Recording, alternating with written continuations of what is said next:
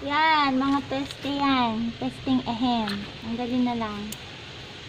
But, yeah, to avoid, you can spray na wash the, wash them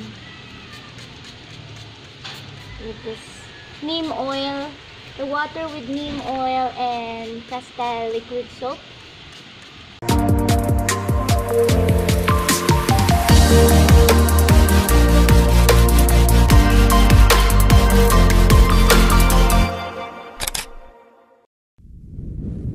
I'm gonna like mix something for the plants kasi mayroong mga pests. So, uh, I research and ang maganda daw is the neem oil, the cold pressed one, and then the castile liquid soap. It's like a dishwashing soap pero walang dye or uh, mga harmful chemicals. So, I have a 1 gallon of water wala kasi ako ibang lalagyan eh. And so, siguro mga 4, sabi mga 4 tablespoon. So, 4 tablespoon. So, I'll just put kasarado pa pala.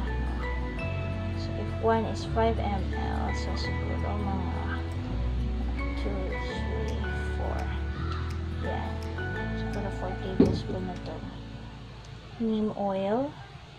And then uh, the castile oil siguro. Maybe mga ganun din. 2 tablespoon.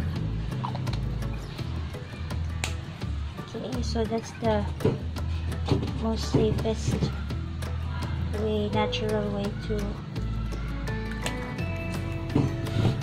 kill the pest it smells so bad just shake it DIY wala akong ibang lalagyan. Ipat ko siya sa pang spray ko.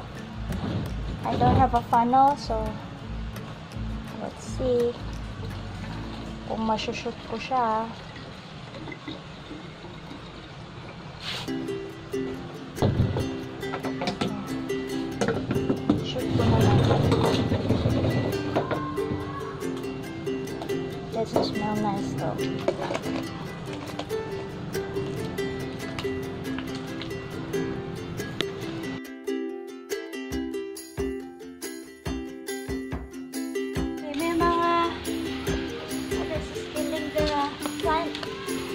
look look at that. Uh this one. Big now. But as you can see like this one oh it's best now. Take it out now. I forgot my scissors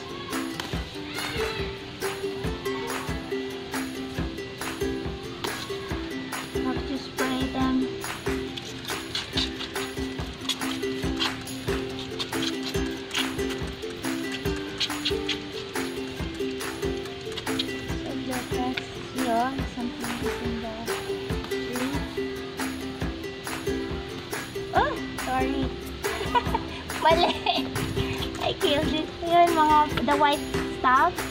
That's the ano aphids mm. that one. Oh.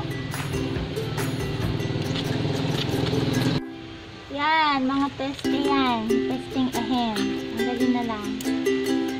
But yeah to avoid you can spray na wash the wash them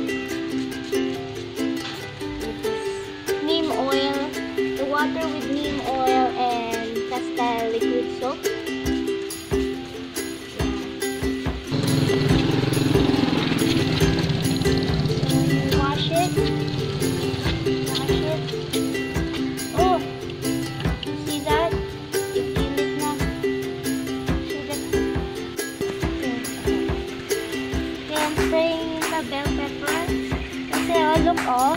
Meron nang kumapatay, oh. Look.